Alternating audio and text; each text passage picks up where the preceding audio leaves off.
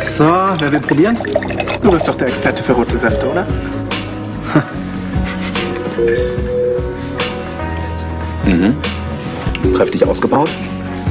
Fruchtige Blume. Der Kenner spricht. Das macht. Ja klar, manche machen das. Wollt ihr jetzt hin? Gerne. Ja. Entschuldigt.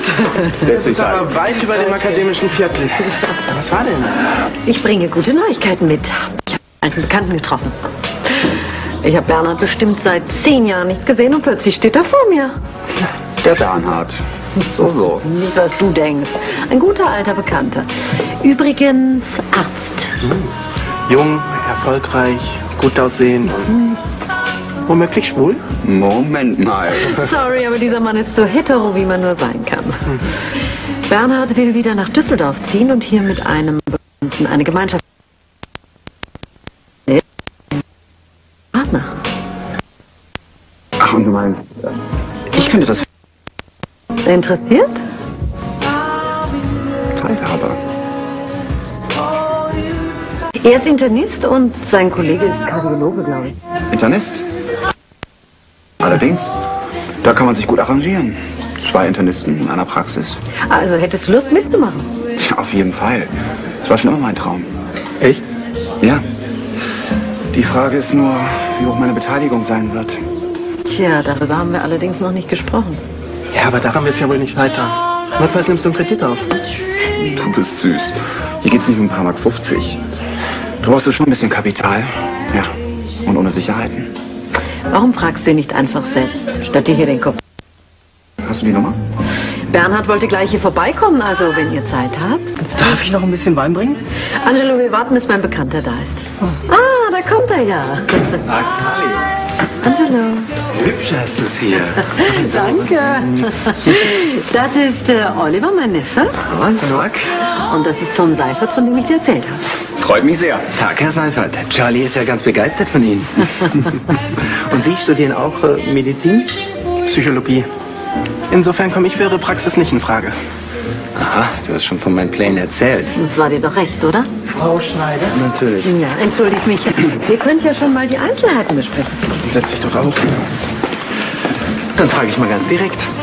Hätten Sie Interesse? Keine Frage. Ich habe selbst ein paar Jahre in der Notaufnahme gearbeitet. Ja, aber in der Praxis kann man sich besser um die Patienten kümmern. Auch wenn ich weiterhin Notdienst im Krankenhaus schiebe.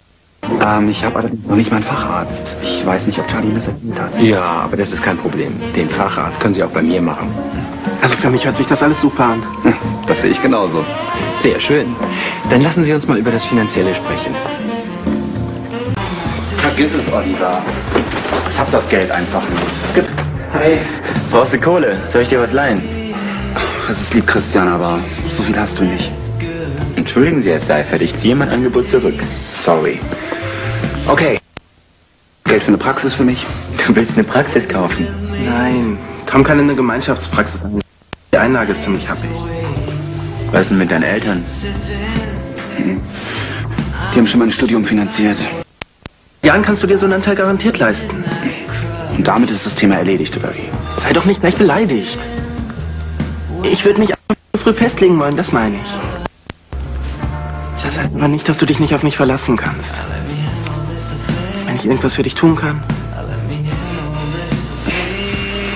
Es tut mir leid. Ich bin ziemlich ungerecht, oder? Aber ich hätte es einfach so gerne gemacht. Und danke, dass Sie so schnell Bescheid gesagt haben. Das wünsche ich Ihnen auch. Danke. Gute Nacht. Na und? Er hat abgesagt. Leider. Abgesagt? Aber vorhin war Tom doch noch Feuer und Flamme für die Praxis. Ist er auch immer noch, nur ist er außerstande, die Einlage zu stellen, was ich wirklich sehr bedauere. Ach, und die ist so hoch? Naja, wir wollen die Praxis natürlich mit dem neuesten Equipment ausstatten. Und das hat alles einen Preis.